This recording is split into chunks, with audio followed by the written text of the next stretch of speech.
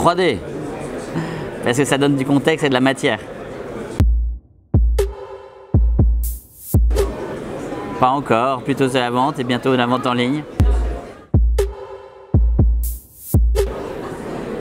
L'innovation qui m'a le plus marqué concerne toutes les, innovations qui portent sur le, traitement des ventes ou des locations.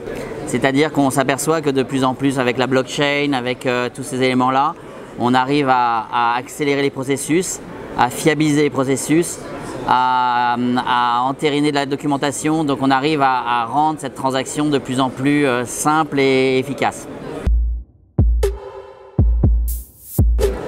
On en est au balbutiement. Euh, c'est une technologie compliquée, mais elle s'appliquera très très bien à l'immobilier, oui. La pire tuile pour un moteur, de lancer un programme sans connaître son marché. Transformation digitale?